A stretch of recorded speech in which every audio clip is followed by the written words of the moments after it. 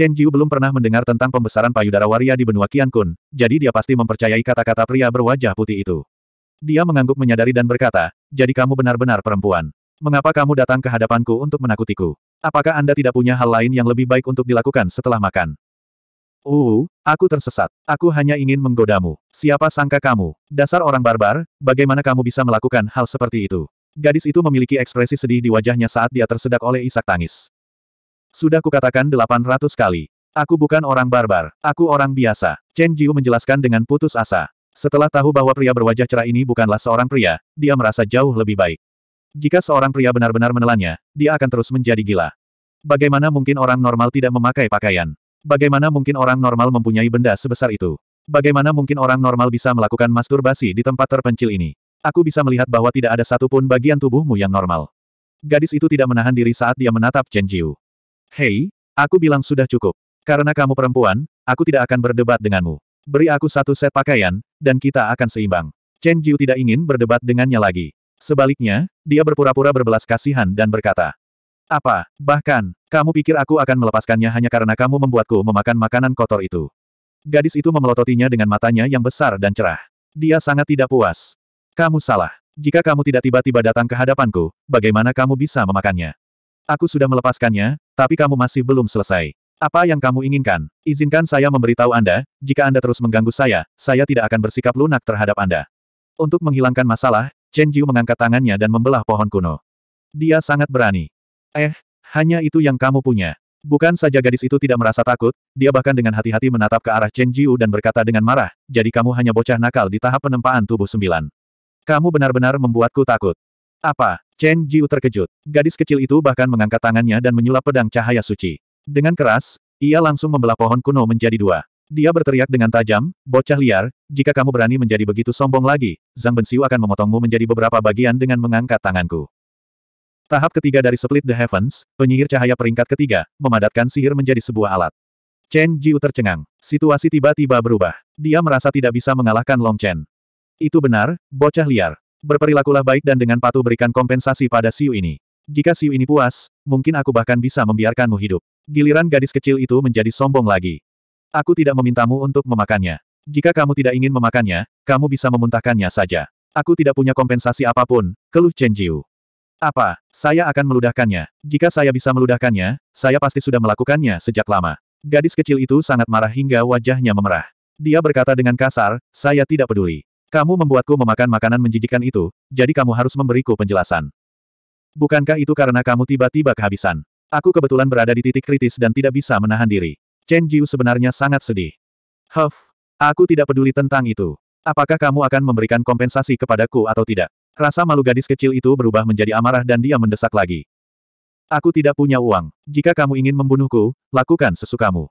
Chen Jiu seperti babi mati yang tidak takut air mendidih. Kamu, siapa yang mau uangmu? Aku tidak mau, teriak gadis kecil itu.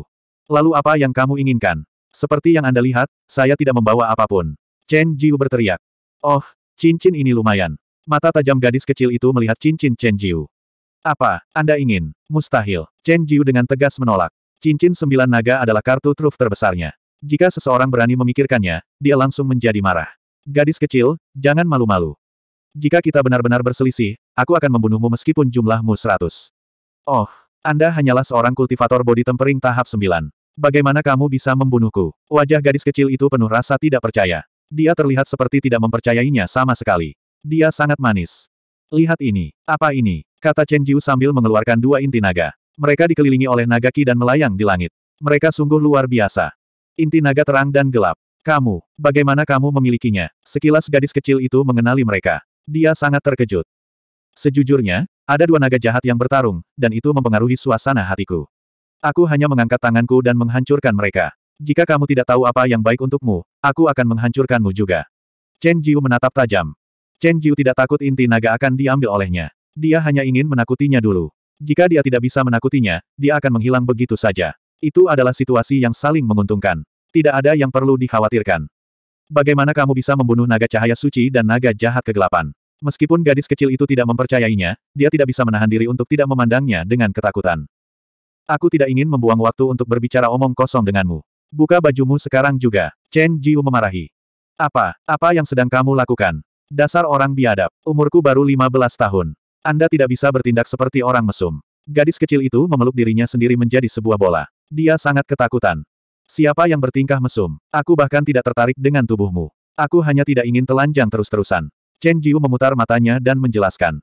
Oh, jadi kamu hanya ingin memakai baju. Jangan khawatir, aku punya lebih banyak di sini. Gadis kecil itu melemparkan satu set pakaian kepada Chen Jiu. Setelah mengenakan pakaiannya, Chen Jiu akhirnya menutupi tubuhnya yang tidak senonoh itu. Dia melotot ke arah gadis kecil itu. Gadis itu sangat imut sehingga dia tidak tega membunuhnya. Dia langsung mengancam, lupakan saja masalah hari ini. Jangan cari masalah denganku di masa mendatang. Kalau tidak, aku akan menghancurkan satu jika yang satu datang. Jika dua datang, aku akan menghancurkan keduanya. Kamu, berhenti di situ. Gadis kecil itu tiba-tiba memiliki keberanian untuk menghentikan kepergian Chen Jiu. Apa yang terjadi? Apakah kamu benar-benar ingin mati? Chen Jiu menoleh. Ekspresinya sangat ganas. Bisakah kamu menjual Radiant Dragon Core kepadaku? Aku tahu kamu tidak mengolah Radiant Magic. Itu tidak akan berguna bagimu. Gadis kecil itu mengumpulkan keberaniannya. Dia benar-benar tidak ingin melewatkan kesempatan ini. Saya bisa membayar mahal. Oh, bisakah Anda membeli 100 miliar pil energi elemental? Chen Jiu awalnya ingin mengejek pihak lain, tetapi dia tidak berharap gadis kecil itu langsung setuju.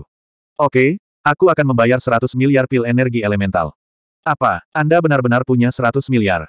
Chen Jiu menatap. Dia memandang gadis kecil itu dari atas ke bawah. Dia sepertinya menyadari bahwa dia telah meremehkannya.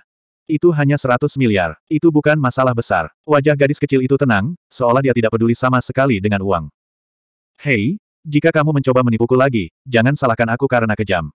Chen Jiu memperingatkan, kalau-kalau pihak lain mempermainkannya lagi. Jangan khawatir, aku bisa memberimu 100 miliar sekarang. Gadis kecil itu murah hati. Dia langsung mengeluarkan setumpuk catatan energi elemental. Sangat kaya. 32. Tiket energi unsur dapat ditukar dengan pil energi elemental, pil ajaib, pil pertempuran Ki, Del. Jika seseorang menabung banyak uang, mereka bahkan dapat memperoleh bunga. Itu sangat nyaman. Pada saat ini, lantainya dipenuhi dengan tiket energi unsur. Chen Jiu sangat menghormati gadis kecil itu. Hei, jangan menatapku seperti itu. Sudah kubilang, aku tidak punya uang. Gadis kecil itu menunjukkan bahwa dia takut dan menjulurkan lidahnya. Jangan khawatir, meskipun kamu punya uang, aku tidak akan merampokmu. Aku, Chen Jiu, bukan orang seperti itu. Chen Jiu bertanya dengan curiga, saya hanya ingin tahu apa identitas Anda. Mengapa Anda tampak begitu kaya sehingga bisa menyaingi suatu negara? Itu bukan urusanmu. Kau menjualnya atau tidak? Ayo buat kesepakatan, kamu tidak bisa menarik kembali kata-katamu. Balas gadis kecil itu. Saya menjual, tentu saja saya menjual. Chen Jiu tidak berdiri pada upacara. Dia berjongkok dan menghitung tiketnya. Setelah memastikan keasliannya, dia dengan santai melemparkan inti naga cahaya ke gadis kecil itu. Ambil. Hei, bisakah kamu lebih berhati-hati? Ini adalah inti naga cahaya. Ini sangat berharga. Gadis kecil itu mengeluh. Inti naga cahaya apa? Jika tidak bernilai uang, aku akan membuangnya begitu saja. Wajah Chen Jiu penuh dengan penghinaan. Karena benda ini tidak bisa ditukar dengan pahala, dia secara naluriah mulai tidak menyukainya. Apa? Gadis kecil itu menatapnya. Dia merasa bahwa Chen Jiu benar-benar ahli dunia lain. Baiklah, gadis kecil, kita sudah sampai sekarang. Aku berangkat. Chen Jiu melambaikan tangannya dan mengumpulkan semua tiket energi unsur. Dia berbalik dan hendak pergi. Hei, tunggu sebentar. Gadis kecil itu dengan cemas memanggil Chen Jiu. Apakah ada hal lain? Chen Jiu sedikit tidak sabar. Kamu benar-benar tidak khawatir meninggalkanku sendirian di sini. Apakah kamu tidak khawatir aku akan dimakan binatang buas? Apakah kamu tidak akan tinggal dan melindungiku? Gadis kecil itu memandang Chen Jiu dengan ekspresi menyedihkan. Sungguh tak tertahankan. Hanya itu, Chen Jiu menatap gadis kecil itu tanpa sedikit pun emosi. Chen Jiu, tidakkah kau ingin tahu namaku? Kata gadis kecil itu dengan kesal. Jika kamu ingin mengatakannya, katakan saja. Jika kamu tidak ingin mengatakannya, lupakan saja. Aku tidak punya waktu untuk disia-siakan bersamamu. Chen Jiu sangat tidak ramah. Namaku Qian Xiangyi. Gadis kecil itu menundukkan kepalanya dan berkata dengan malu-malu. Baiklah, aku berangkat, kata Chen Jiu. Dia segera pergi. Kamu, kamu orang barbar, kenapa kamu terburu-buru untuk bereinkarnasi? Melihat dia diabaikan, Qian Xiangyi mengertakkan gigi karena marah. Bol biadab, jangan mengira masalah di antara kita sudah selesai. Seseorang. Apa Chen Jiu Chen? Apa? Apa apa apa apa? Apa? Apa? Ah, Chen Jiu. Chen. Chen Chen Chen. Apa? Aula utama keluarga Chen. Di depan meja bundar besar yang terbuat dari kayu solid, ada delapan orang duduk di arus sungai yang tak ada habisnya. Delapan dari sembilan saudara laki-laki keluarga Chen memiliki ukuran tubuh yang berbeda. Bahkan ada beberapa dari mereka yang terlihat agak malang. Mereka tidak bisa dibandingkan dengan Chen Tianhe. Seperti kata pepatah, naga memiliki sembilan putra, dan masing-masing putra berbeda. Itu adalah gambaran realistis dari keluarga Chen. Sial, putra saudara keempat benar-benar telah menimbulkan bencana kali ini. Dia sebenarnya ingin kita memberikan kompensasi kepadanya. Semuanya, bagaimana kita bisa melakukan itu? Seorang pria parubaya yang tinggi dan tegap mengutuk. Dialah yang berkomplot melawan Chen Jiu, saudara ketiga dari keluarga Chen, Chen Haoran. Benar, kami telah bekerja keras untuk membangun bisnis ini. Mengapa kami harus membayar bocah tak tahu malu itu? Kami tidak akan melakukannya, saudara laki-laki kesembilan dari keluarga Chen, Chen Yuchun, berkepala ular dan bermata tikus. Huff, sepertinya posisi kakak keempat sebagai kepala keluarga telah berakhir. Banyak suara tidak puas terdengar. Kedelapan bersaudara itu semuanya dipenuhi dengan kebencian terhadap Chen Tianhe, dan mereka semua marah bersama. Kepala keluarga telah datang. Seorang pemuda tiba-tiba berteriak kaget. Pandangan semua orang tertuju padanya. Semuanya, aku yakin kalian baik-baik saja sejak terakhir kali kita bertemu. Chen Tianhe dengan tenang berjalan mendekat dan duduk di ujung meja. Saudara keempat, kali ini tidak ada ide apa pun tentang kami. Biar ku beritahu, kamu harus membereskan kotoranmu sendiri, kata Chen Haoran. Oh, itu yang Anda pikirkan, bukan? Chen Tianhe sudah lama mengharapkan ini. Dia tersenyum acuh tak acuh. Apakah kalian semua sudah melupakan ajaran nenek moyang kita? Mungkinkah anakku bukan keturunan keluarga Chen? Huff, sulit untuk mengatakannya. Pelacur itu, empat seorang pemuda berwajah tajam. Apa, kakak ketujuh, apa yang kamu katakan? Siapa yang kamu sebut pelacur? Apakah Anda punya nyali untuk mengatakan itu lagi? Chen Tianhe sangat marah dan memelototi pemuda itu. Aku, pemuda itu adalah saudara ketujuh keluarga Chen, Chen Yiyang. Basis budidayanya baru mencapai tahap surga ketiga dari surga terbelah, dan dia berada pada tingkat yang sama sekali berbeda dari Chen Tianhe. Di bawah tekanannya, dia langsung pingsan. Huff, saudara keempat, jangan mengandalkan kekuatanmu untuk menindas orang lain. Tiba-tiba, seorang pria parubaya berjanggut putih muncul di depan Chen Yiyang, menyelesaikan krisisnya. Masalah ini salah Chen Jiu. Suruh dia keluar. Kita akan membicarakannya setelah kita bertemu dengannya. Benar, suruh bocah itu keluar duluan. Kami ingin bertanya padanya bagaimana dia kehilangan 100 miliar itu. Semua saudara laki-lakinya berteriak, ingin menggunakan Chen Jiu untuk menghukumnya. Aku, Chen Tianhe segera berkata dengan canggung, Jiu, Er masih belum kembali dari menenangkan diri. Aku khawatir dia tidak bisa datang ke sini. Apa, bocah sampah itu sedang marah. Kakak keempat, apakah kamu menyuruhnya bersembunyi? Sungguh sikap yang protektif. Anda ingin kami memberi Anda uang dengan sikap seperti itu. Mustahil. Saudara-saudaranya sangat tidak puas. Semuanya, karena keadaan sudah menjadi seperti ini, jelas ada seseorang yang mengacaukan keluarga Chenku. Apakah kamu benar-benar ingin orang lain melihat keluarga Chenku sebagai lelucon? Jika saya tidak bisa membayar, apakah menurut Anda Anda bisa lepas dari tanggung jawab? Teriakan Chen Tianhe mengguncang semua orang yang hadir. Huff, paling buruk, kami akan mengusir keluargamu saja. Masalah ini tidak ada hubungannya dengan kami, kata Chen Haoran tegas. Usir aku keluar, saya kepala keluarga. Apa hakmu untuk mengusirku? Cibir Chen Tianhe. Huff, apa menurutmu setelah menunggu berhari-hari, kita benar-benar tidak melakukan apa-apa? Chen Haoran tersenyum sinis. Ayah akan segera membawa tokoh-tokoh senior ke sana. Hari ini akan menjadi hari kiamatmu. Apa, kau membuat ayah khawatir? Chen Tianhe terkejut, mendesah dalam hati. Seperti yang diduga, tidak ada satupun saudaranya yang mudah dihadapi. Iya, tunggu saja hukuman ayah. Melahirkan anak sebaik itu sungguh memalukan bagi keluarga Chenku. Mayoritas saudara laki-lakinya mulai mengejeknya. Aku, Chen Tianhe ditempatkan pada posisi yang sulit. Dengan sangat cepat, ketika beberapa tetua masuk, Chen Tianhe didorong ke tengah badai. 33. Ada tiga lelaki tua, semuanya kurus, dengan rambut dan janggut putih. Mereka penuh semangat, dan wajah mereka bermartabat. Orang yang berada di tengah memiliki sedikit kekhawatiran di antara alisnya. Dia adalah ayah dari sembilan bersaudara Chen, Chen Long. Chen Long memiliki banyak ahli waris di keluarga Chen, dan dia juga merupakan kepala keluarga sebelumnya. Tanggung jawab utama keluarga Chen secara alami berada di pundaknya. Adapun para tetua lainnya, mereka adalah pelayan lama keluarga Chen atau nenek moyang keluarga Chen yang tidak memiliki ahli waris. Mereka semua adalah orang-orang yang sangat berpengalaman. Saat ini, Chen Long sedang memelototi Chen Tianhe. Tidak ada rasa bersalah di matanya. Ayah, Chen Tianhe berseru tanpa daya. Tianhe, kamu adalah putra kesayanganku. Tapi sekarang setelah hal sebesar itu terjadi, kamu bahkan tidak memberitahu kami. Kamu benar-benar sudah dewasa, tegur Chen Long. Ayah, aku hanya khawatir ayah akan terus khawatir. Aku ingin menunggu sampai masalah ini selesai sebelum memberitahu ayah, jelas Chen Tianhe. Huh, apa gunanya memberitahu kami hal-hal lama setelah kamu benar-benar kehilangan keluarga Chen? Orang tua di samping segera berteriak dengan tegas. Paman ketiga, kamu terlalu serius. Aku sudah menghitung bahwa jika kita benar-benar kehilangan utang sebesar ini, paling banyak kita akan kehilangan 80% aset kita. Beri aku waktu beberapa tahun, dan aku pasti bisa untuk mendapatkannya kembali, kata Chen Tianhe. Apa, Anda akan dapat memperoleh kembali 80% dalam beberapa tahun? Tian He, kamu adalah anak yang bertanggung jawab. Kapan Anda belajar menyombongkan diri? Yang tertua adalah adik laki-laki Chen Long, Chen Gongkuan, dan dia menganggapnya lucu. Ayah, Paman, kita semua sepakat bahwa untuk menyelesaikan krisis keluarga, satu-satunya cara adalah mengusir keluarga Chen Tianhe dan membiarkan mereka mengurus diri mereka sendiri. Dengan Chen Haoran yang memimpin, saudara-saudara lainnya mengangguk setuju. Mengusir mereka, itu agak terlalu serius. Tetua yang tidak berbicara selama ini juga mengerutkan kening. Paman Buyut, Peri Mulan adalah salah satu dari tujuh peri Akademi Qiankun. Dia sangat terkenal dan memiliki banyak pengagum. Bahkan penguasa kota harus mengikuti jejaknya. Jika kita tidak mengusir mereka, maka kita akan benar-benar hancur, bantah Chen Yiyang. Ini, saudara kedua, ini urusan keluargamu. Kamu bisa melakukan apa yang kamu mau. Kakak tertua, Chen Zengzi, akhirnya menyerahkan wewenangnya kepada Chen Long. Kakak kedua, jika kamu tidak membuat keputusan, kamu akan mendapat masalah. Aku harap demi klan, kamu tidak akan membiarkan emosimu memengaruhi keputusanmu. Chen Gongkuan buru-buru memperingatkannya. Juga, jangan abaikan pendapat senat. Huff, aku tahu apa yang harus kulakukan. Chen Long tampak gelisah. Ia berjalan mendekati Chen Xinghe, mengulurkan tangannya yang keriput, dan menyentuh wajah Chen Xinghe dengan lembut. Ia bertanya, Tian He, di mana Chen Jiu? Hal besar seperti ini telah terjadi. Tidak bisakah ia berdiri dan bertanggung jawab seperti seorang pria? Ayah, Jiwer sudah sadar sekarang. Jangan salahkan dia, dia tidak melakukannya dengan sengaja kali ini, kata Chen Tianhe sambil tersenyum puas.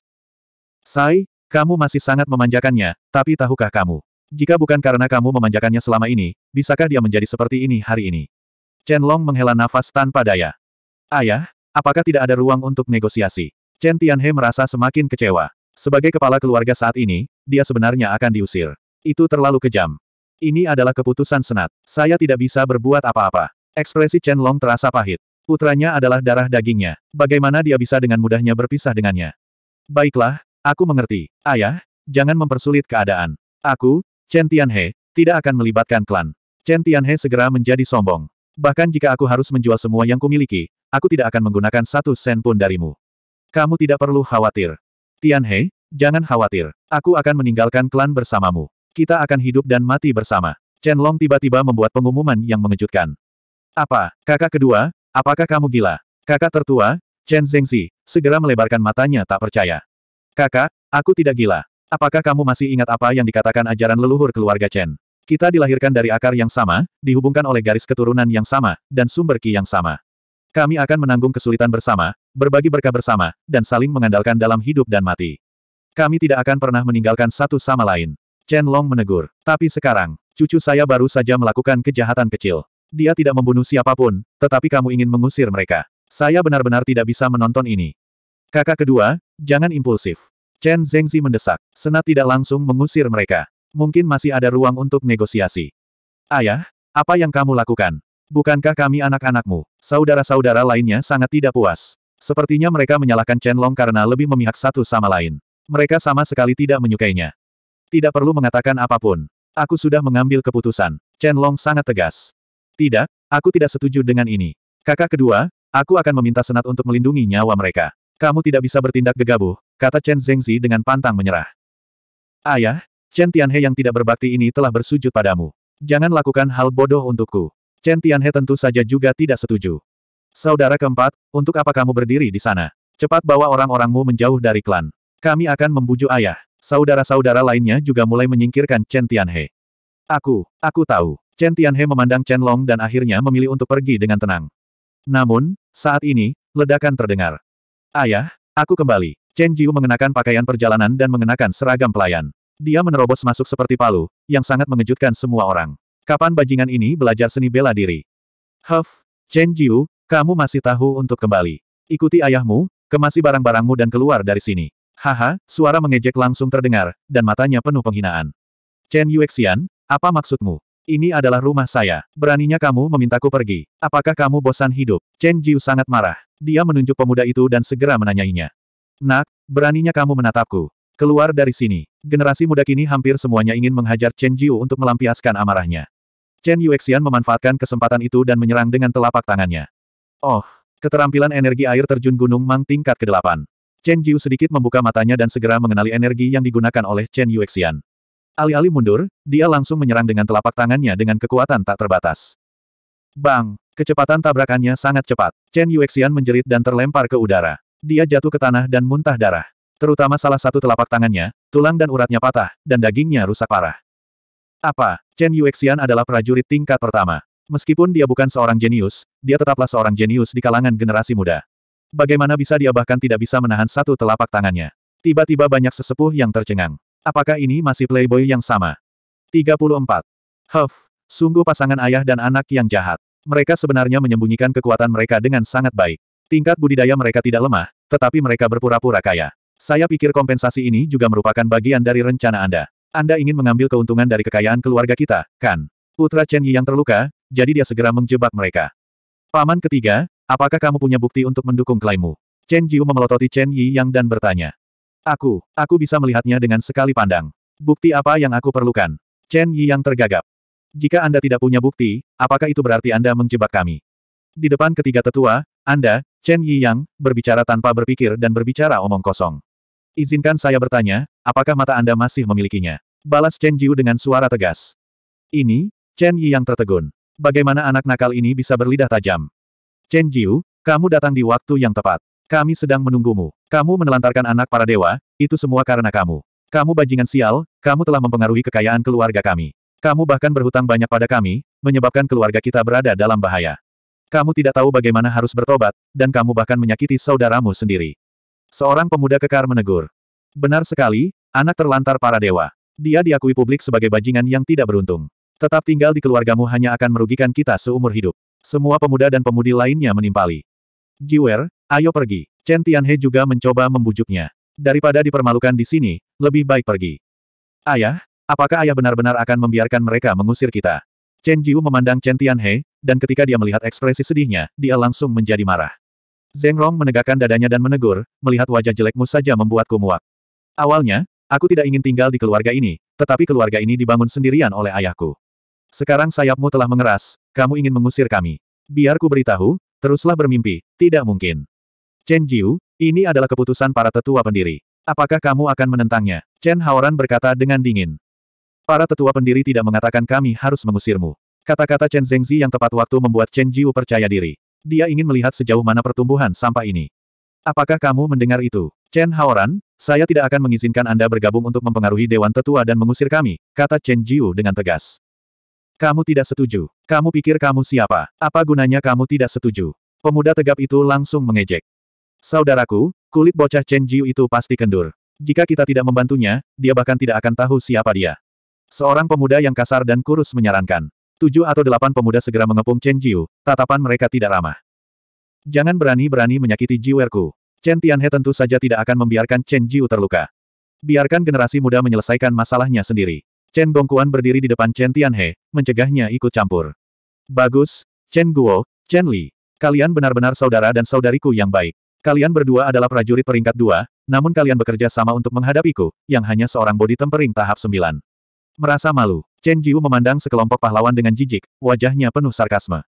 Chen Jiu, hari-hari tiranimu telah berakhir. Sebelum kamu pergi, izinkan kami mengirimmu pergi sebagai kenang-kenangan. Tujuh atau delapan pemuda itu tertawa dingin, lalu mulai menyerang. Hancurkan gunung dan sungai. Chen Guo yang pertama menyerang. Saat dia meraung, nyala api merah muncul di tubuhnya, menyebabkan kulitnya bersinar. Kekuatannya luar biasa, dan dia menebas Chen Jiu. Gemuruh gunung dan sungai terdengar, dan itu sangat luar biasa. Enyahlah. Chen Jiu menghadapi serangan ganas Chen Guo secara langsung. Seperti auman harimau, dia menghadapi serangan itu secara langsung. Bang! Kedua telapak tangan bertabrakan. Keduanya didorong mundur oleh kekuatan yang sangat besar. Kali ini, keduanya berimbang. Anak nakal yang jahat. Rumor mengatakan bahwa kamu mempraktikkan seni jahat. Awalnya aku tidak percaya, tapi sekarang tampaknya itu benar. Saudara dan saudari, mari bekerja sama untuk menghancurkan kejahatan ini. Saatnya untuk melindungi kita negara telah datang. Teriak Chen Guo. Semua orang setuju dan menyerang bersama. Tangan besi dan kulit tembaga. Seorang pemuda mengubah ototnya menjadi besi. Seolah-olah dia terbuat dari baja yang bagus. Telapak tangannya jatuh seperti pisau atau kapak, menyebabkan orang gemetar ketakutan. Kulit tembaga tangan besi seni asal tingkat ke-9. Chen Jiu sedikit terkejut, tapi dia segera mengirimkan serangan telapak tangan. Dengan retakan, meski berhasil memaksa lawannya mundur, tulang di tangannya telah patah di tempat. Kepala Fajra. Pemuda kedua menyerang lagi. Dia pria botak, dan seperti meteor, dia membanting, mengarah langsung ke kepala Chen Jiu. Jika serangan ini mendarat, itu sudah cukup untuk menyebabkan kepala seseorang meledak, dan seseorang akan mati dengan kejam. Dewa ular hantu naga, pada saat kritis ini, Chen Jiu tidak berani menahan diri lagi. Dia mengumpulkan seluruh energinya dan memanggil Dewa Ular Hantu Naga. Ia meraung dan menelan langit. Roar, wajah ganas Dewa Ular Hantu Naga itu seperti hantu dari neraka. Begitu muncul, para pemuda penyerang mengeluarkan keringat dingin. Kemudian, ia menelan pemuda botak itu dan melemparkannya ke samping dengan suara keras. Ah, teriak pemuda botak itu. Beberapa goresan mengerikan tertinggal di kepala besinya. Itu sangat jelas dan menyakitkan. Semuanya, jangan menyerang dalam jarak dekat. Serang bersama dari jauh. Chen Li mengingatkan mereka. Lalu, dia berteriak, panah air hujan.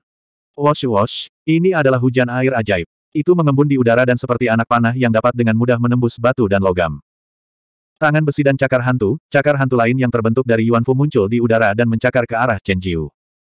Rumble, tujuh atau delapan pemuda dari segala arah menggunakan semua keterampilan dan teknik mereka. Mereka menggunakan Yuan Fu dan Doki untuk menyerang Chen Jiu. Yuan Fu milik prajurit tingkat kedua telah mengembun menjadi cairan. Kekuatannya lebih dari sepuluh kali lipat dari prajurit tingkat pertama. Menghadapi tujuh atau delapan dari mereka pada saat yang sama, Chen Jiu merasa itu sangat sulit. Meskipun Dewa Ular Hantu Naga dapat menahan Yuan Fu dan Yuan Fu, dia tidak dapat menangani begitu banyak orang. Setelah gelombang serangan, dia langsung dipenuhi luka dan memar. Jiwer, berhentilah berkelahi. Chen Tianhe tidak tahan lagi. Huff, banyak sampah. Datang lagi kalau berani. Chen Jiu mengaktifkan teknik 95 tertinggi. Dia tidak lagi khawatir akan mempermalukan dirinya sendiri dan mempertaruhkan nyawanya. Ah, dia besar sekali. Seorang remaja putri berteriak. Banyak anak muda yang iri dan iri. Mereka segera menyerang. Iblis, kamu masih bisa bereaksi saat ini. Kamu tidak bisa dibiarkan hidup. Meninggal dunia, tangan tembaga dan besi tiba-tiba merobek penyembunyian terakhir Chen Jiu. Serangan yang seharusnya mengakhiri garis keturunan keluarganya malah menunjukkan keagungannya sepenuhnya. Hal ini membuat beberapa remaja putri merasa sangat malu. Ledakan. Tinju yang terbakar dengan Yuan Fu menghantam Chen Jiu di tengah punggungnya. Pukulannya sangat keras hingga tubuhnya gemetar dan meninggalkan bekas luka di punggungnya. 35. Hujan anak panah air menembus tubuh Chen Jiu hingga menyebabkan darahnya berceceran ke sekujur tubuhnya. Dia tampak sangat menyedihkan. Roar, Chen Jiu meraung di tengah-tengah serangan. Medan magnet kuat di tubuhnya menyerap energi yang untuk menyembuhkan luka-lukanya dan meningkatkan potensinya. Dia tidak jatuh. Sialan, Aku tidak percaya kami tidak bisa mengalahkanmu, para pria dan wanita muda sangat marah. Bahkan prajurit level 3 tidak akan mampu menahan gelombang serangan. Bagaimana mungkin seorang bocah bodi tempering tahap 9 bisa menahannya? Setelah gelombang serangan, tujuh atau delapan pemuda sekali lagi mendekat ke Chen Jiu. Mereka ingin menggunakan serangan dalam wujud aslinya untuk memberinya pukulan fatal. Batu menembus air yang menetes, Chen Li menembakkan kolom air ke arah perut bagian bawah Chen Jiu. Wash, wash, Wash kolom air ini seperti bila air yang tajam dan anak panah. Itu tidak bisa dihentikan. Dengan suara, Pou perut bagian bawah Chen Jiu tertusuk dalam sekejap. Ah, teriak Chen Jiu. Auranya tiba-tiba berubah. Itu adalah aura keagungan seorang raja, aura seorang kaisar. Kamu memintanya. Tangan besar Chen Li menamparkan seperti seorang kaisar yang marah. Boom, telapak tangan itu menamparkan Chen Li yang masih sok. Tubuh Chen Li bergerak-gerak dan darah mengalir keluar dari tujuh lubangnya. Dia telah kehilangan seluruh kemampuan untuk bertarung. Pedang besi Fajra, pedang Yuan Li melintas dan menebas. Itu memotong bahu Chen Jiu tanpa ampun, membuatnya semakin marah. Nyah. Dia menendang dengan kekuatan besar. Bang! Tulang dan daging Chen Jiu hancur. Dada pemuda itu ambruk dan dia berada di ambang kematian. Gunung Mang turun. Sebuah gunung besar jatuh dari langit. Itu seberat meteor. Hancurkan. Menghadapi gunung besar itu, Chen Jiu menghantamkan telapak tangannya ke gunung itu. Seperti seekor naga, dia menerobos gunung itu dan menghancurkannya berkeping-keping. Dia menangkap salah satu pemuda itu, mematahkan anggota tubuhnya, dan melemparkannya. Ini, ketiga wanita muda itu langsung ketakutan. Serangan mereka terhenti di tengah jalan. Cukup. Saat ini, Chen Haoran buru-buru menghentikan mereka. Tidak cukup. Chen Jiu memelototi Chen Guo. Mengabaikannya, Chen Jiu menyerang lagi, meraih Chen Guo dengan satu serangan telapak tangan. Api pertempuran Chen Guo pecah, dan dia dengan paksa menahan Chen Guo di udara. Lepaskan Guoer. Chen Haoran panik. Chen Guo adalah putranya dan dia tidak ingin dia menjadi cacat. Terima pukulanku. Mencibir dengan jijik, Chen Jiu meninju, memukul dada Chen Guo. Dengan suara berderak, dada Chen Guo ambruk dan jantungnya berhenti berdetak.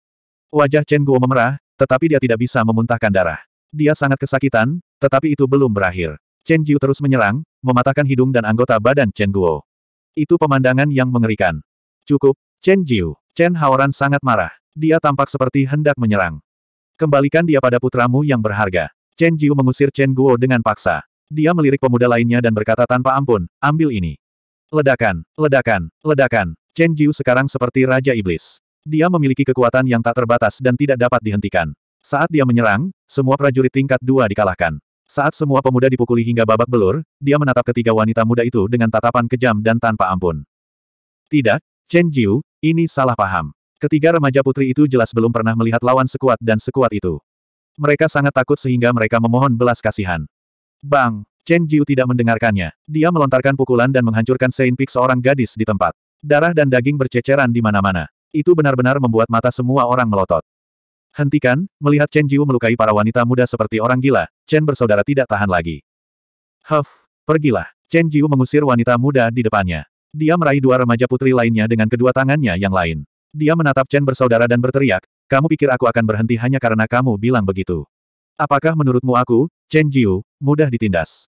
Chen Jiu, cukup sudah. Apakah menurutmu kejahatanmu kecil? Chen Gongkuan juga mencoba membujuknya dengan wajah dingin. Kakek ketiga, aku khawatir kamu bersikap tidak adil. Saat aku, Chen Jiu, berkelahi, apa yang kamu lakukan? Anda memblokir ayah saya, oke. Okay. Sekarang mereka tidak bisa mengalahkan saya, tetapi Anda menghentikan saya. Apa yang Anda maksud dengan ini? Chen Jiu berteriak dengan marah. Chen Jiu, kamu pikir kamu ini siapa? Beginikah caramu berbicara dengan kakek ketiga? Chen Yi yang berteriak dan menyerang dengan tegas. Iblis, aku akan menjatuhkanmu. Yang absolut satu jari. Wash, ini adalah kekuatan asal tingkat sembilan, jari yang absolut. Itu adalah keahlian favorit Chen Yang. Dikatakan bahwa dia bisa menghancurkan semua manusia dengan satu jari. Pada saat ini, yang Chen Jiu terungkap. Ini adalah waktu yang tepat bagi Chen Yi Yang untuk menggunakan skill ini. Jarinya seperti angin dan api. Itu tidak dapat diprediksi dan sulit untuk dilawan. Chen Yi Yang, beraninya kamu. Chen Tianhe sangat marah. Paman ketiga, lepaskan aku. Sudah terlambat. Chen Tianhe tidak bisa menyelamatkan mereka tepat waktu. Chen Jiu meraih kedua wanita muda itu dengan kedua tangannya. Gerakan Chen Tianhe menjadi sangat pasif. Namun, saat ini, mata Chen Jiu tidak menunjukkan tanda-tanda kekhawatiran. Menghadapi serangan itu, dia berteriak keras. Transformasinya sangat mengejutkan. Raung, hantu naga dan dewa ular yang lebih nyata muncul dari tubuhnya dan menelan Chen Yiyang di udara. Ah, itu salah Chen Yiyang. Dewa ular hantu naga adalah sumber yang. Sekarang Chen Yiyang telah menggunakan yang untuk menyerangnya, ia hanya mengirim dirinya sendiri ke kematian. Jari absolut yang yang kuat terkorosi dan terserap di udara. Apalagi Chen Yi yang terlempar dalam sekejap mata. Jika Chen Jiu tidak menunjukkan belas kasihan, serangan ini sudah cukup untuk membunuhnya. Chen Jiu telah memadatkan kekuatan asalnya sendiri di bawah tekanan lapisan pertama pembukaan surga. Ia telah menjadi prajurit tingkat satu sejati. Ia tidak dapat disejajarkan dengan alam tempering tubuh tingkat sembilan. Prajurit tingkat tiga biasa tidak ada apa-apanya di matanya. Kalian semua, enyahlah. Chen Jiu tidak menunjukkan belas kasihan. Satu demi satu, dia menghancurkan puncak saintes dari kedua gadis muda itu, dan dengan santai membuang mereka. Siapa lagi yang berani muncul? Ini, penjahat. Chen Tianhe, putramu bukan hanya momok, dia juga seorang penjahat. Saya menyarankan agar kita menyingkirkannya selagi dia masih muda untuk mencegah masalah di masa depan. Kalau tidak, dia pasti akan membawa bencana bagi Chen kita. Klan di masa depan, saran Chen Haoran segera. Huff, Chen Long tentu saja sangat tidak puas. Chen Haoran, kamu gagal menyakitiku terakhir kali, dan sekarang kamu mendorong orang lain untuk berurusan denganku. Menurutku, jika kamu laki-laki, maka menonjoloh dan bertarunglah secara adil denganku.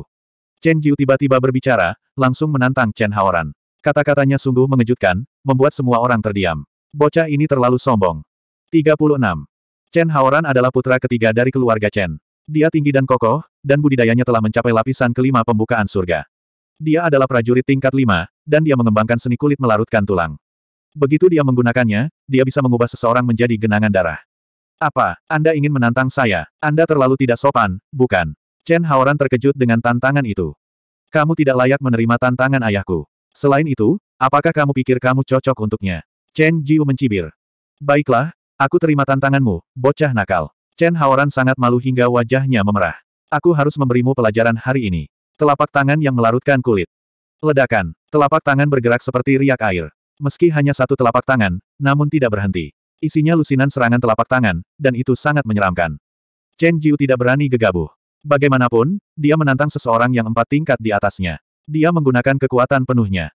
Raungan, hantu naga dan dewa ular meraung dan menyerbu ke depan, bertabrakan dengan telapak tangan pengikis kulit di tempat.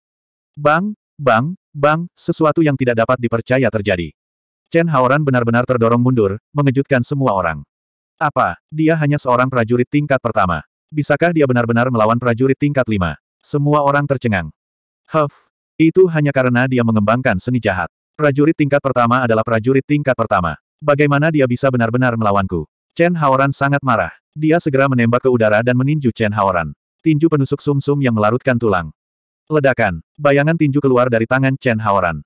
Tinju abu-abu putih itu seperti gunung sungguhan. Itu menekan Chen Jiu, mengeluarkan bau asam yang dapat merusak udara. Dewa ular hantu naga, langkah Chen Jiu sederhana, tetapi sangat efektif. Dewa ular hantu naga memblokir tinju pelarut tulang, tapi tidak bisa dilanjutkan. Lagi, Chen Haoran tidak melambat saat dia sekali lagi meninju dengan kedua tangannya. Dua tinju penusuk sumsum tulang meleleh terbang menuju Chen Jiu. Ini, ini terlalu tidak tahu malu. Chen Haoran, kamu telah membuka titik akupunturmu sebagai prajurit peringkat kelima. Jumlah energi unsur yang dapat kamu simpan lebih dari 10 kali lipat dari prajurit peringkat pertama. Kamu mengandalkan energi unsurmu yang berlimpah untuk mengalahkan anakku. Ini sama sekali tidak mulia. Chen Tianhe sangat tidak puas. Tidak perlu sombong saat berhadapan dengan setan dan hantu. Chen Haoran tidak berpikir demikian. Sebaliknya, dia cukup bangga pada dirinya sendiri.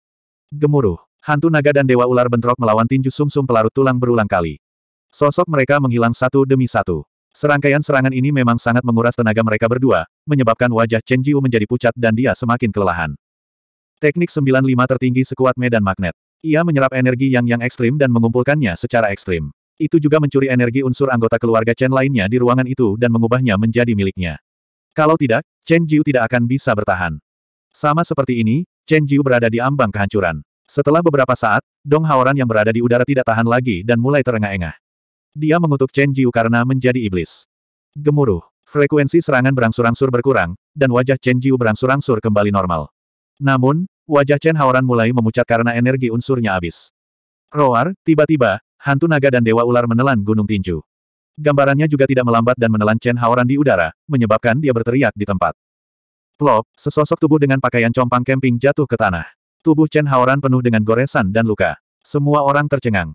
Dia dikalahkan. Putra ketiga dari keluarga Chen, yang merupakan prajurit tingkat lima, bahkan tidak bisa mengalahkan Chen Jiu, yang merupakan prajurit tingkat pertama.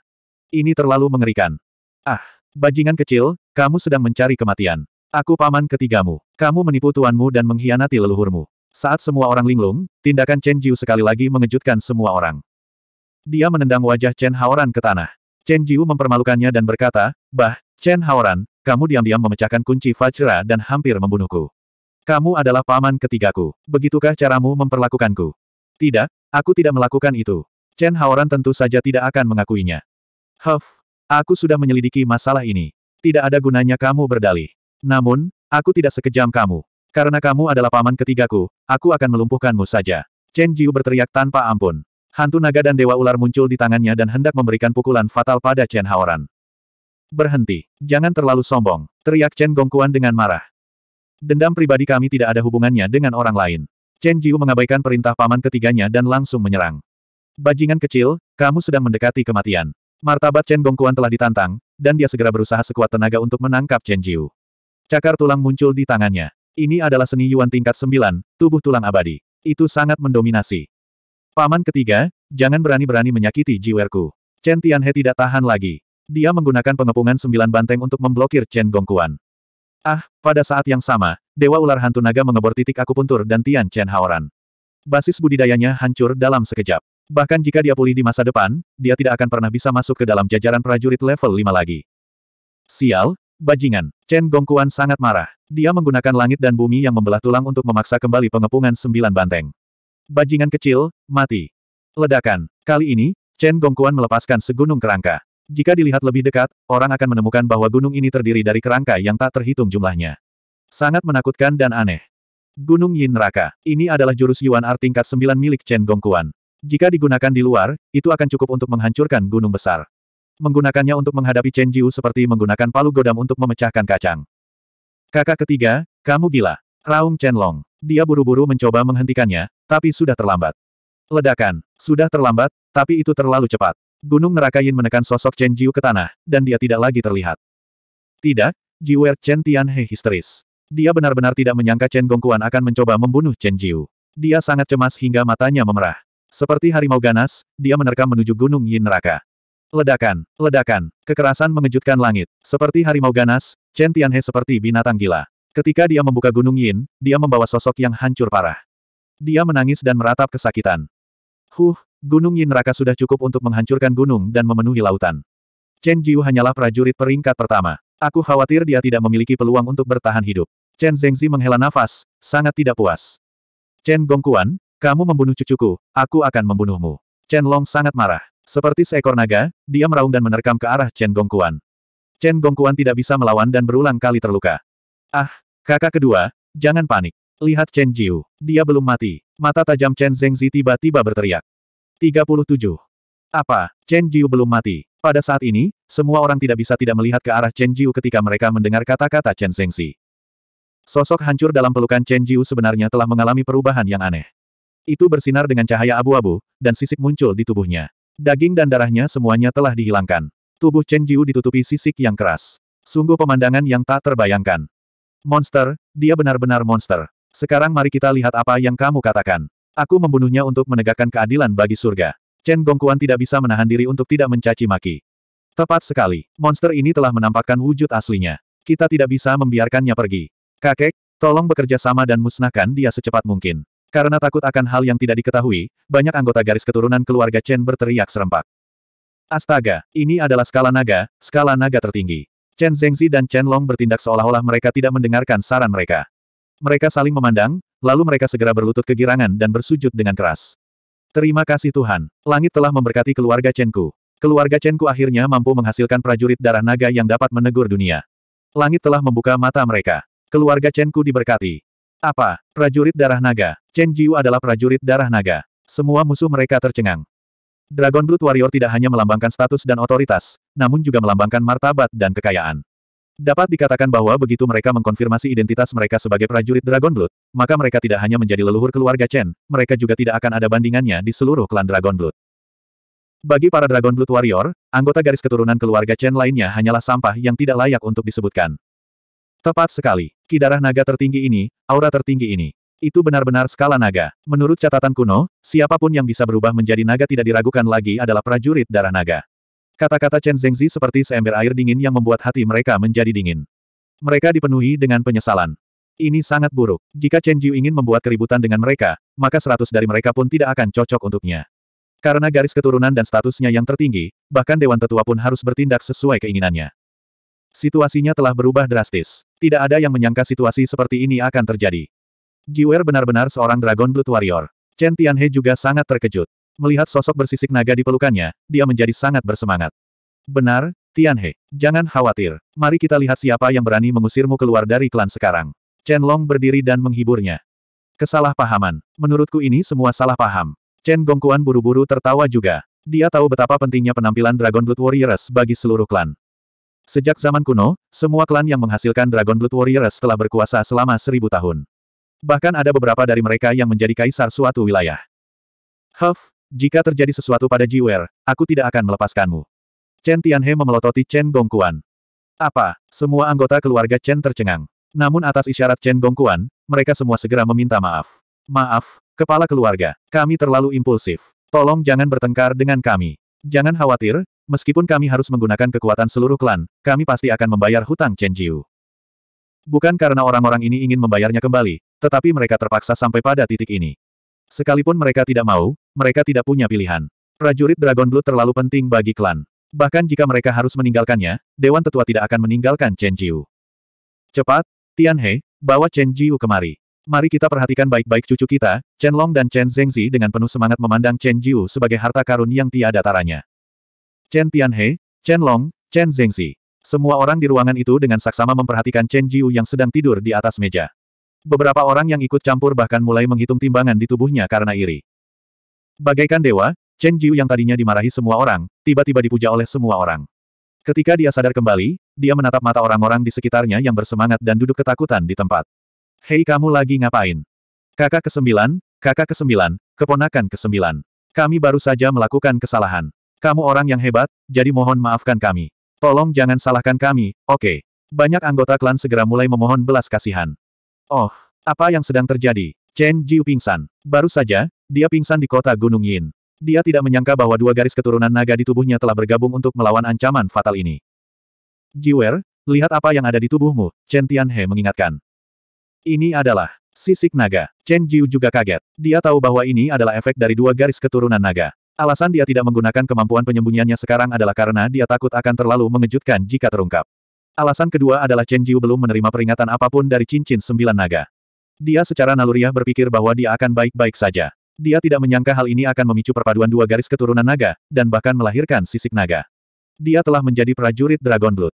Tidak buruk, Jiwer. Kamu sekarang adalah prajurit Dragon Blood. Prajurit Dragon Blood yang telah dinanti-nantikan oleh keluarga selama bertahun-tahun. Di masa depan, tidak ada seorang pun yang berani untuk tidak menaatimu, kata Chen Tianhe dengan nada mendominasi. Haha, Chen Jiu langsung tertawa terbahak-bahak. Tatapannya membuat para kerabat saudara keluarga Chen berkeringat dingin. Mereka sangat ketakutan. Jiwer, kamu tidak bisa membalas dendam karena alasan pribadi. Sebagai prajurit Dragon Blood, kamu harus memiliki hati yang murah hati dan baik hati, saran Chen Long. Jangan khawatir, kita semua terlahir dari akar yang sama. Aku tidak sekejam mereka. Chen Jiu mengeluarkan ajaran leluhurnya. Aku tidak kalah dalam masalah hari ini, jadi lupakan saja. Namun, di masa mendatang, jika ada yang berani mencari masalah denganku, jangan salahkan aku karena bersikap kejam.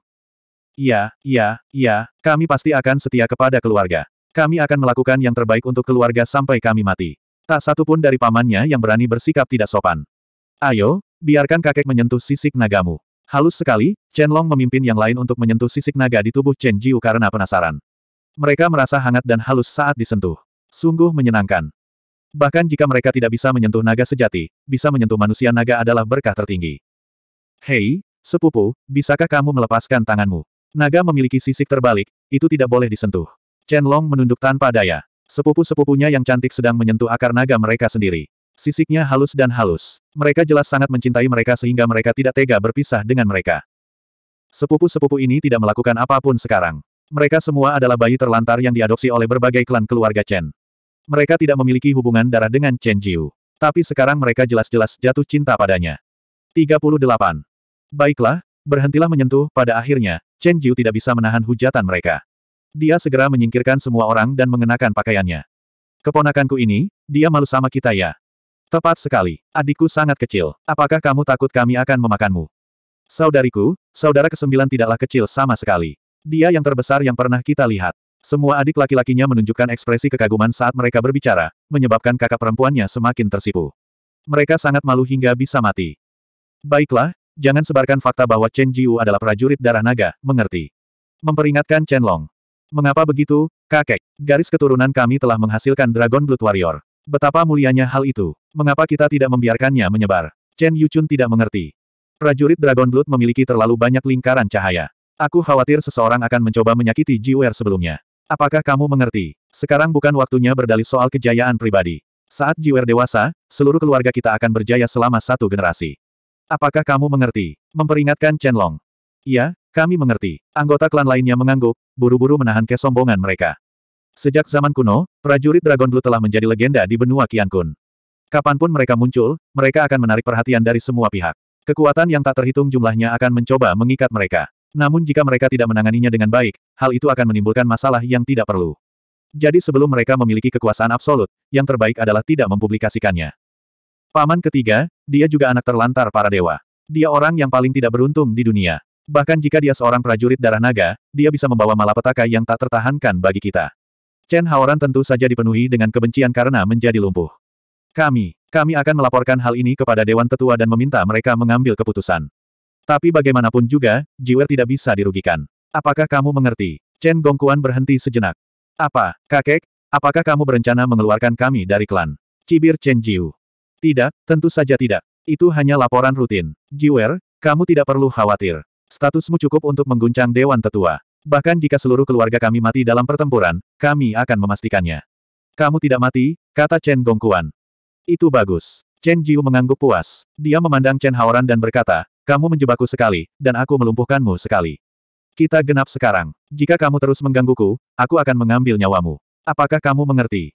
Iya, saya tidak berani. Saya tidak berani. Chen Haoran tidak berani marah lagi. Sejak saat itu, tatapan Chen Jiu menyapu seluruh klan.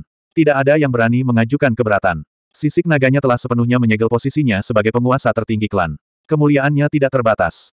Jiwer, sebaiknya kamu berhenti mengembangkan teknik kultivasi jahat itu sesegera mungkin. Meskipun kamu bisa maju dengan cepat di awal, dan kamu juga bisa menantang mereka yang memiliki tingkat kultivasi lebih tinggi, itu tetap bukan jalan yang benar. Chen Long segera menasihati, kakek memiliki teknik budidaya kelas raja yang belum lengkap. Jika Anda tertarik, saya bisa mengajarkannya kepada Anda. Oh, teknik kultivasi tingkat raja. Baiklah, kalau begitu cepatlah dan ajarkan padaku. Chen Jiu tentu saja tidak sabar. Ayo pergi, Jiwer. Ayo pergi ke tempat lain untuk mengajar. Chen Long dengan senang hati menarik cucunya pergi. Tidak peduli bagaimana dia memandangnya, dia menyukainya. Mereka sangat dekat. Di bawah tatapan iri dari yang lain, dia menarik Chen Jiu pergi. Ketika mereka tiba di lapangan latihan bela diri, Chen Long dengan sungguh-sungguh berkata, Kakek, teknik kultivasi ini adalah sesuatu yang saya peroleh secara kebetulan di sebuah gua rahasia. Ini disebut seni petir surgawi bintang tinggi. Oh, lalu bisakah ia menarik petir surgawi untuk menyerang saya? Ketertarikan Chen Jiu langsung terguncang. Itu benar, teknik budidaya ini mengembangkan unsur petir dan dapat memanggil petir surgawi bintang tinggi. Ini adalah serangan pemusnahan terhadap iblis jahat. Jika kamu mengolah teknik budidaya ini, kamu akan mampu menekan energi jahat di tubuhmu, kata Chen Long dengan keprihatinan. Kakek, cepatlah dan ajarkan. Chen Jiu tidak bisa menunggu lebih lama lagi. Baiklah, dengarkan baik-baik. Di langit dan bumi, dari lima elemen, hanya kilat yang melampaui dunia ini. Ini disebut kesengsaraan surgawi, dan ini sangat kuat, Chen Long mulai menjelaskan. Kakek, setelah berbicara sekian lama, bagaimana cara mengolahnya? Chen Jiu benar-benar bingung. Untuk membantumu berkultivasi, aku akan menggunakan elemen petir untuk mencerahkanmu. Chen Long benar-benar berusaha sekuat tenaga. Dia meletakkan telapak tangannya di kepala Chen Jiu, dan unsur petir mulai memasuki tubuhnya. Kakek, kamu Chen Jiu benar-benar tersentuh. Di usia kakeknya, meskipun dia telah mencapai alam Nas Chen Sol, tubuhnya telah layu seiring berjalannya waktu. Jika dia tidak memanfaatkan energi unsurnya untuk menembus peringkat ke-9, dia perlahan akan mati karena usia tua. Bagi Chen Long, energi elemental bisa dikatakan sebagai aset penyelamat hidup. Biasanya, dia tidak akan mau menyia-nyiakannya. Namun sekarang, dia menggunakannya untuk mencerahkan Chen Jiu. Dia benar-benar memanjakannya. Jangan bicara, gunakan hatimu untuk merasakan jalur sirkulasi energi unsur. Chen Long menjadi pucat karena ketakutan saat unsur petir mengalir ke tubuh Chen Jiu. Dia menemukan bahwa kekuatan meridian Chen Jiu seperti kekuatan naga, sangat luas. Awalnya, dia telah bersiap untuk langsung membantu Chen Jiu mencapai peringkat keempat, tapi sekarang dia hanya bisa menghela nafas. Meridian Chen Jiu mengandung terlalu banyak unsur petir. Chen Long merasa bahwa jika dia benar-benar membantu Chen Jiu mencapai peringkat keempat, kemungkinan besar dia akan kehilangan separuh hidupnya. Tanpa pilihan lain, Chen Long hanya bisa menuangkan elemen petir sebanyak yang dia bisa. Pada akhirnya, bahkan Nas Chen Sol miliknya pun mulai melemah. Pada akhirnya, dia menyerah. Telapak tangannya meninggalkan tubuh Chen Jiu, memungkinkan dia untuk mengkonsolidasikan budidayanya. Petir terlihat menyambar di sekujur tubuhnya. Sungguh menakjubkan. Wow, kamu benar-benar layak menjadi prajurit Dragon Blood. Bakat pelatihan seperti ini bisa dibilang langka di dunia fana. Chen Long sangat puas. Mampu membuat petir beresonansi di siang hari bolong seperti ini adalah sesuatu yang hanya bisa dia lakukan setelah mencapai peringkat ke-6. Kilatan petir kecil yang tak terhitung jumlahnya melintas di sekitar tubuh Chen Jiu. Kilat menyambar dan guntur bergemuruh. Seluruh tubuhnya bermandikan lautan petir, membuatnya tampak sangat surgawi. Us, setelah beberapa saat, kilat tiba-tiba berhenti, dan Chen Jiu membuka matanya. Kilat menyambar dan guntur bergemuruh, dan dua sambaran petir yang tampak kokoh meledak. Mereka menghancurkan gunung besi di depannya yang dia gunakan untuk melatih tinjunya, dan menembusnya. Hamparan petir dan api menyebar, dan seluruh lapangan latihan hangus hitam. Ini, serangan mata petir. Kamu sudah memahami jurus pamungkas ini begitu cepat. Dan petirnya sangat kuat. Apakah Anda sudah mencapai tahap ketiga dari Split the Heavens? Mata Chen Long membelalak kaget. Berkat bantuan kakek, tubuhku hampir dipenuhi dengan elemen petir. Dengan kerja kerasku, akhirnya menjadi padat, dan aku sekarang menjadi prajurit peringkat ketiga. Chen Jiu tidak bisa menahan rasa bangga pada dirinya sendiri. Prajurit peringkat ketiga tidak diragukan lagi merupakan tonggak sejarah lainnya dalam delapan transformasi membelah surga. Delapan transformasi membelah surga adalah mengubah tubuh manusia dan membuka dunia baru di dalamnya. Itu untuk memperjuangkan kekayaan alam semesta dan menentang surga. 39. Dari delapan transformasi, tingkat energi unsur tertinggi adalah bentuk padat. Bahkan prajurit peringkat ke-8 pun ada dalam bentuk ini. Jadi selama energi unsur Chen Jiu cukup kental, bukanlah mimpi baginya untuk menantang orang-orang di atasnya. Sial, beri aku satu tahun lagi dan aku pasti bisa mengalahkan Mulan. Pada saat itu, tidak ada yang berani menindas keluarga kita. Chen Jiu memikirkan hukuman Mulan dan penguasa kota, dan dia tidak bisa menahan perasaan kesal. Baiklah, Jiwer, jangan sedih. Aku sudah menerima kabar tentang bibimu. Jika tebakanku benar, dia masuk Akademi Qiankun. Jika aku bisa menghubunginya dan memastikan masalah ini, maka kita menang, tidak perlu takut pada kentang goreng kecil itu. Chen Long tiba-tiba menghiburnya. Apa, bibi saya, saudari Siu yang biasa bermain dengan adik laki-lakiku ketika dia masih kecil. Chen Jiu tercengang, dan matanya langsung melebar. Bibi ini bernama Chen Hansui, dan dia hanya beberapa tahun lebih tua darinya. Dalam ingatan Chen Jiu, bibi ini sangat suka bermain dengan adik laki-lakinya ketika dia masih kecil, dan dia selalu mengejeknya karena menjadi beban. Chen Hansui adalah bayi terlantar yang diadopsi Chen Long. Bagi keluarga besar seperti ini, mengadopsi bayi terlantar adalah hal yang sangat wajar. Lagi pula, orang yang dibesarkan sejak kecil cenderung lebih setia. Sayangnya, Chen Hansui telah menghilang lebih dari 10 tahun yang lalu. Tidak peduli seberapa keras mereka berusaha, mereka tidak dapat menemukannya. Siapa yang mengira bahwa setelah mendengar berita ini, Chen Jiu tidak dapat menahan perasaan hangat. Bagaimanapun, bibi ini telah bermain dengannya paling banyak ketika dia masih kecil. Bahkan sekarang, dia curiga bahwa adik laki-lakinya telah dipermainkan oleh bibi ini sampai dia masih kecil. Ahem, kalau kamu ketemu bibi lagi, jangan pernah bahas masalah ini lagi. Chen Long tidak bisa menahan rasa canggungnya. Oh, aku mengerti, kakek. Chen Jiu mengangguk. Dia juga tahu bahwa masalah ini tidak senonoh, jadi sebaiknya jangan mengungkitnya lagi. Jiwer, kamu benar-benar mengejutkanku kali ini. Setelah bertahun-tahun, kamu akhirnya tumbuh dewasa. Chen Long menghela nafas. Awalnya, karena masalah ini, aku bersiap untuk meninggalkan keluarga bersamamu dan meminta bantuan Han Sui secepatnya. Tapi sekarang kamu telah menjadi prajurit Dragon Blood, posisi kami dalam keluarga tidak tergantikan. Ini benar-benar telah terselesaikan krisis kita saat ini. Kakek, ini semua salahku. Maafkan aku, Chen Jiu meminta maaf dengan tulus. Rasa cinta Chen Long terhadap keluarganya sungguh tak tertahankan. Kita semua adalah keluarga, tidak perlu bersikap sopan. Chen Long membujuk, aku lelah, aku akan kembali dan istirahat dulu. Sampai jumpa besok. Oke, aku akan kembali dan mengkonsolidasikan kekuatanku. Chen Jiu tidak ragu-ragu dan berbalik untuk kembali. Tuan muda, Tuan muda, Anda kembali. Di pintu masuk kediaman King Xin, Chen Lan dengan manis mengangkat kepalanya penuh harap. Ketika dia melihat Chen Jiu kembali, matanya langsung berbinar. Hei, Lan Lan, kenapa kamu menatapku seperti itu? Chen Jiu tampak tidak nyaman. Tuan muda, apakah Anda benar-benar seorang Dragon Blood Warrior? Chen Lan bertanya penuh harap. Eh, ini, kamu tahu tentang itu. Hati Chen Jiu mencelos, dan wajahnya berubah muram. Fakta bahwa dia telah menjadi prajurit Dragon Blood jelas telah diperintahkan untuk dirahasiakan. Tapi sekarang, dia bahkan tidak bisa menyembunyikannya dari keluarganya sendiri. Bagaimana dia bisa menyembunyikannya dari orang luar? Tuan muda, ada apa? Apakah Lan Lan mengatakan sesuatu yang salah? Wajah Chen Lan dipenuhi kepolosan saat dia mengakui kesalahannya. Tidak, tidak apa-apa. Lan Lan, ayo makan. Chen Jiu menenangkan diri sejenak, tetapi tidak berlebihan. Dia percaya bahwa selama dia tumbuh lebih kuat, tidak peduli berapa banyak junior yang datang, mereka semua hanya akan mengirim diri mereka sendiri menuju kematian. Baiklah. Chen Lan mengangguk. Mereka berdua kembali ke kamar dan menyantap makan malam yang mewah. Mereka mengobrol santai tentang apa yang terjadi kali ini, membuat Chen Lan merasakan gelombang kekaguman yang tak terbatas pada Chen Jiu. Dia menatapnya dengan mata berbinar.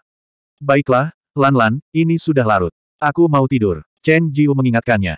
Tuan muda, izinkan saya membantu Anda mengganti pakaian Anda. Chen Lan dengan penuh perhatian menunggunya. Saat dia melepas celana Chen Jiu, dia terkejut melihat ereksi yang besar. Dia diam-diam berkata, Tuan muda, izinkan saya membantu Anda mengurusnya. Lihat seberapa besarnya. Jika Anda memegangnya terlalu lama, itu akan meledak. Hah, saya akan tidur. Tidak apa-apa. Mari kita bicarakan hal itu besok. Chen Jiu tanpa perasaan menolak permintaan Chen Lan. Dia benar-benar tidak tega mengambil keuntungan terlalu banyak darinya. Oh, Chen Lan tampak sedikit kecewa saat dia pergi dengan kesal. Berbaring di tempat tidur, Chen Jiu tidak langsung tidur. Pada siang hari, dia telah mengembangkan seni Yuan petir surgawi bintang tinggi dan mencapai peringkat ketiga. Namun, dia masih merasa bahwa seni Yuan kelas raja ini tidak bisa dibandingkan dengan seni Yuan tertinggi 95 miliknya.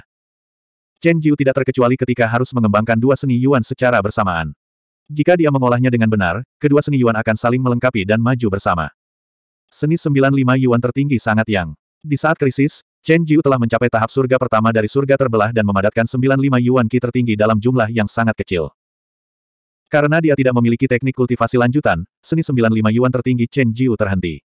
Namun, ini sudah sangat kuat. Dia telah menggunakannya untuk mengalahkan Chen Haoran, yang telah mencapai Heaven Stage kelima dari Split Heavens. Kekuatannya terlihat jelas. Sekarang dia punya waktu, pikiran Chen Jiu tidak bisa membantu tetapi sekali lagi membenamkan dirinya dalam cincin sembilan naga. Sambil memandangi naga dewa raksasa itu, dia sekali lagi meminta, aku ingin tindak lanjut dari seni Yuan tertinggi 95. Setelah tahap surga kedua dari seni Yuan tertinggi 95, poin prestasi yang diperlukan untuk setiap tahap surga akan berlipat ganda. Apakah kamu yakin ingin menukarnya? Tanya naga suci itu dengan sungguh-sungguh. Sial, itu benar-benar vampir. Aku yakin, kata Chen Jiu dengan marah. Baiklah, Tuan. Level tertinggi yang bisa kamu tukarkan adalah panggung surga ke-9. Kamu telah menghabiskan total 5.100 poin prestasi untuk menukarkannya. Naga ilahi secara langsung memuntahkan aliran naga ki dan meneruskan tindak lanjut dari seni Yuan tertinggi 95. Panggung surga ke-9 adalah level tertinggi yang bisa dicapai seorang pejuang di peringkat ke-8. Untuk saat ini, itu sudah cukup bagi Chen Jiu. Dengan teknik kultivasi, Chen Jiu tidak ragu-ragu lagi. Dia mengikuti poin dan rute utama teknik budidaya dan mempercepat budidayanya. Medan magnet energi positif yang menakutkan terbentuk di sekitar tubuh Chen Jiu seperti bola cahaya, menerangi seluruh ruangan seterang siang hari. Di bawah sinar bulan, sebagian besar energi dingin yang dipantulkan adalah energi yang yuan matahari. Sekarang setelah Chen Jiu menyerapnya, ia mampu memperoleh hasil dua kali lipat dengan setengah usaha. Energi kental Heaven Stage kedua dengan cepat terisi. Chen Jiu langsung mulai menerobos ke tahap surga ketiga. Dia bekerja keras untuk mengumpulkan energi, membayangkan dirinya sebagai tungku yang dapat melelehkan semua yang dan yang di dunia, menyebabkan atribut energi mereka berubah sekali lagi. Sizzle, cairan 95 energi asal tertinggi itu sangat maskulin dan kuat. Begitu muncul, ia segera memaksa sisa energi asal guntur surgawi Taigang ke sudut meridian. Ia tidak berani mendekat. Chen Jiu tahu bahwa ini adalah keuntungan bawaan. Perbedaan antara teknik budidaya tingkat raja dan seni yuan tertinggi 95 tidaklah kecil. Meskipun level mereka tidak sama, mereka masih memiliki keuntungan yang luar biasa. Dia lebih menantikan seni 95 yuan tertinggi. 40. Ya, masih ada ruang untuk perbaikan. Chen Jiu tidak ragu-ragu dan mengaktifkan teknik tertinggi 95. Seketika, sebuah fenomena aneh terjadi di rumah Chen. Bas, bola cahaya berbentuk setengah lingkaran tiba-tiba menyelimuti kediaman King Xin. Semua energi yang di sekitar berkumpul ke arah itu. Wash Wash, yang istimewa adalah seberkas cahaya jatuh dari cahaya bulan dan memasuki bola cahaya, memberinya kekuatan yang sangat kuat. Apa ini? Semua orang di keluarga Chen berkumpul di rumah Chen. Saat mereka merasakan pemandangan yang mengejutkan ini, semua rasa kantuk mereka hilang. Mungkinkah Chen Jiu tidak tahu apa yang baik untuknya dan masih mengembangkan teknik jahat? Kata Chen Yuchun sinis. Huff, kita semua adalah kultivator. Bagaimana mungkin kita tidak merasakan aura yang dan benar yang ekstrim ini? Apa yang Jiwer kembangkan bukanlah teknik jahat. Jika ada di antara kalian yang terus memfitnahnya, kalian mendekati kematian. Chen Long berteriak dengan keras. Dia tidak mengizinkan siapa pun menjelek-jelekkan Chen Jiu. Bas-bas, tepat ketika semua orang sedang bingung, bola cahaya besar itu tiba-tiba dipenuhi petir dan api. Seolah-olah langit dan bumi terbelah. Guntur dan kilat berderak dalam kekacauan. Itu sangat kejam. Ah, ini adalah Tai Gang Sky Lightning. Mungkinkah Chen Jiu telah menyelesaikan teknik tingkat raja yang tidak lengkap ini? Dia benar-benar jenius, seru Chen Zengxi. Dia segera memberikan penjelasan yang sangat baik kepada semua orang dan menghentikan mereka dari berpikir terlalu banyak. Munculnya guntur surgawi astral besar di bola cahaya zenit berarti bahwa Chen Jiu sudah mulai mengembangkan teknik guntur surgawi astral besar lagi. Dia telah mengedarkan kedua teknik budidaya ini bersama-sama untuk mempercepat waktu terobosannya. Ia tidak menyangka kejadian yang tidak disengaja ini akan menjelaskan penyebab fenomena tersebut baginya. Tentu saja, apa yang mengejutkan Chen Jiu belum terjadi. Saat dia mengedarkan dua teknik kultivasi pada saat yang sama, dia tiba-tiba menyadari bahwa 95 teknik tertinggi miliknya telah mengasimilasi energi asal dari guntur surgawi Tai Gang dan menjadi lebih kuat dan mendominasi. Mungkinkah energi asal dari Tai Gang Sky Lightning telah menghilang? Pikiran Chen Jiu bergerak sedikit, dan dia langsung menyadari bahwa kilat dan guntur di 95 energi asal tertinggi sangat ganas. Itu bahkan lebih kejam daripada kekuatan guntur surgawi Tai Gang di masa lalu. Bersemangat, Chen Jiu tiba-tiba menebak dengan berani. Segera, dia mulai mengedarkan bagian ketiga dari metode budidaya, keterampilan asal sembilan sapi dan dua harimau. Sizzle, ki asal kekuatan mulai mengembun, namun pada akhirnya, ia juga diasimilasi oleh 95 asal ki tertinggi, menyebabkannya memiliki kekuatan tambahan seperti banteng, yang mampu mengguncang gunung dan membelah bumi. Ya, begitulah adanya. Chen Jiu mengangguk pada dirinya sendiri, senyum bahagia muncul di wajahnya. Teknik tertinggi 95 tidak terduga. Teknik itu benar-benar dapat mengasimilasi seni Yuan lainnya, dan bahkan memiliki atribut seni Yuan tersebut, yang memungkinkan mereka untuk maju bersama. Dengan kata lain, Chen Jiu hanya perlu mengembangkan teknik 95 asal tertinggi untuk memiliki guntur surgawi Tai Gang dan kekuatan tak terbatas. Mengolah beberapa seni Yuan pada saat yang sama, pada akhirnya semuanya akan menjadi satu, dan yang rumit akan menjadi sederhana. Chen Jiu tidak menyangka bahwa dia akan mencapai level seperti itu di awal kultivasinya. Benar-benar kejutan yang menyenangkan. Mengetahui bahwa ini semua karena teknik 95 asal tertinggi, Chen Jiu langsung semakin jatuh cinta padanya. Mungkinkah itu metode budidaya tingkat dewa? Chen Jiu dengan berani menebak dalam hatinya, tapi dia tidak berani terus memikirkannya. Di benua Kun, metode budidaya tingkat raja ke atas adalah harta langka yang hanya dapat ditemukan secara kebetulan. Jika orang lain mengetahui tentang metode budidaya tingkat dewa, mereka akan memperjuangkannya bahkan jika mereka harus mematahkan kepala. Untungnya, Chen Jiu tidak bisa menahan kegembiraannya. Justru karena Dewa Ular Hantu Naga miliknya jahat dan telah menyedot daging dan darah korban hingga kering sehingga orang-orang salah mengira bahwa dia sedang mengembangkan teknik jahat. Kalau tidak, hidupnya sudah lama dalam bahaya. Keberuntungan, Chen Jiu mendesah dalam hati atas keberuntungannya, dan di saat yang sama, dia mengerahkan seluruh upayanya untuk berkultivasi. Saat yang dan yang bertemu, Chen Jiu dengan cepat mengembunkan cairan 95 energi asal tertinggi. Dia mulai mengompresnya dan mengubahnya menjadi padat. Proses ini sangat sulit, sehingga setelah beberapa jam, Chen Jiu masih belum mencapai apa pun. Tidak, aku harus menjadi prajurit tingkat tiga. Kalau tidak, aku akan dilumpuhkan oleh orang lain. Chen Jiu mengambil keputusan. Tiba-tiba, sebuah ide muncul di benaknya, dan dia berteriak, sambaran petir, sempurnakan esensinya. Boom, yang mengejutkan semua orang adalah sambaran petir tiba-tiba muncul di langit, menerangi langit malam sejauh ratusan mil. Itu dengan ganas menghantam bola cahaya. Kacaca, petir dan api bertabrakan. Bola cahaya ditembus, dan rumah ditembus. Sosok di dalamnya langsung hangus hitam, dan tak tertahankan untuk dilihat. His, sisik naga otomatis muncul di sekujur tubuhnya untuk melindunginya. Chen Jiu menengadah ke langit dan meraung. Dia sangat bersemangat. Setelah serangan itu, dia merasa 95 energi asal tertinggi miliknya telah banyak terkondensasi. Oleh karena itu, dia tidak ragu-ragu dan memanggil Tai Gang Heavenly Thunder untuk menyerang dirinya sendiri. Bum bum, adegan mengerikan itu membuat para tetua klan Chen gemetar ketakutan. Di antara mereka, Chen Long menghela nafas dengan penuh wibawa. Anak ini benar-benar gila. Dia sebenarnya ingin menggunakan Tai Gang Heavenly Thunder untuk menyempurnakan budidayanya. Ini adalah tubuh naganya. Jika itu kita, bahkan jika kita tidak mati, kita akan kehilangan lapisan kulit. Hari kebangkitan prajurit darah naga dari klan kita tidak lama lagi. Chen Zengzi memandang Chen Tianhe dengan penuh harap dan berkata dengan iri, kamu memiliki putra yang baik. Haha, sekarang kamu tidak akan mengatakan bahwa aku tidak mengajar anakku dengan baik, kan? Chen Tianhe secara alami bangga pada dirinya sendiri. Ini, guntur surgawi ini cukup untuk mengubah kita menjadi debu, beberapa ahli muda melihat tindakan Chen Jiu dan merasa bahwa jarak di antara mereka semakin besar. Mereka menggelengkan kepala, benar-benar tercengang. Chen Jiu baru berkultivasi selama setengah bulan, tetapi dia sudah berhasil menyusul mereka, yang telah berkultivasi selama lebih dari 10 tahun. Mereka tidak dapat menerima hal ini. Bahkan jika dia adalah seorang Dragon Blood Warrior, dia tidak mungkin begitu mengerikan, bukan? Prajurit Dragon Blood tidak bisa diukur dengan keadaan normalnya. Jangan berkecil hati. Selama kamu bekerja keras, pasti akan ada hari di mana kamu bangkit. Chen Zengzi sekali lagi menghibur mereka.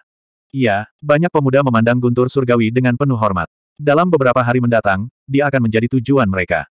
Perbedaannya terlalu besar. Mereka tidak bisa lagi merasa cemburu. Mereka hanya bisa mengaguminya. Di dalam petir, sosok Chen Jiu muncul di langit. Kemuliaannya tak tertandingi, membuat semua orang terkejut. Dia hanyalah prajurit peringkat ketiga, dan dia sudah seperti ini. Apa yang akan terjadi di masa depan? Di bawah pengaruh Taigang Heavenly Thunder, kemajuan Chen Jiu sangat cepat. Jejak pertama dari 95 penguasa Yuan Qi akhirnya memadat di tubuhnya. Setelah kokoh, itu menunjukkan bahwa dia telah masuk ke peringkat ketiga. Setelah waktu yang lama, semua Yuan Qi di meridiannya memadat, dan dia akan mencapai peringkat keempat. Dari tahap surga ketiga dari surga terbelah hingga tahap surga keempat dari surga terbelah, tidak ada ambang batas. Selama dia bekerja keras, dia bisa maju.